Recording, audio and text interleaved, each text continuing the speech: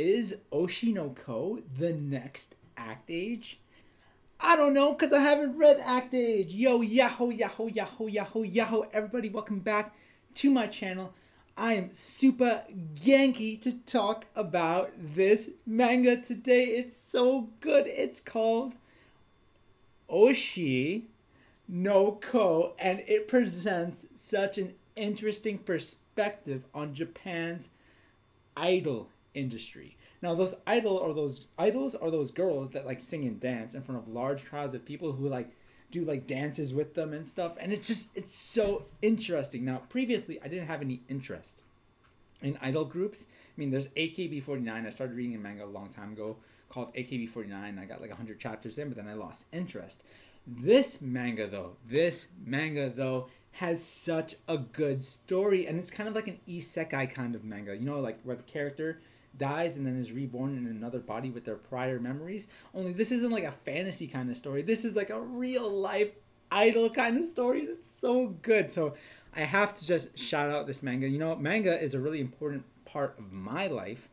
And I love sharing this energy and these good stories that you can get from my life with you because I know that these experiences that we create are not solely limited to a singular person because the structural foundation of experiences can all be the same.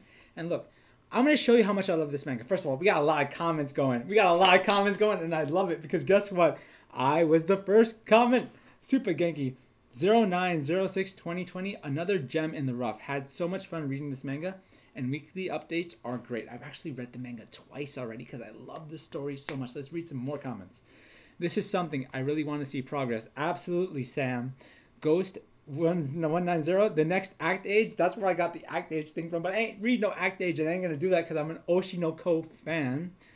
It hurts to reach the end of a good ongoing manga, especially one with a lot of reading material built up already. There you go, Google Chrome. Potato, yes, this is really interesting. I got a rep Oshinoko right here. Authors Asakasa, Asakasa Aka, Yokoyari Mengo.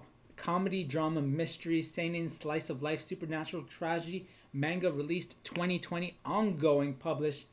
So good. The description says the story will center on an overwhelmingly cute heroine and show the entertainment industry with a never before seen point of view.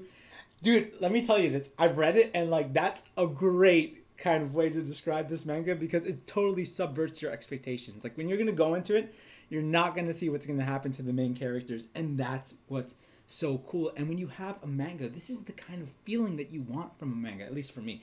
I want mangas that are going to excite me. They're going to make me want to reread the chapters. That are going to make me want to invest myself in the characters because reading manga is great, but what are you going to do with that information that you get from the manga? That is what I think is so, so, so cool. And let me tell you, it's just such a good manga. You got to give it a try.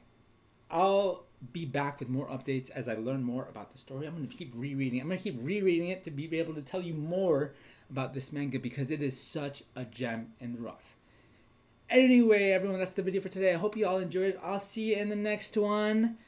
Bye bye.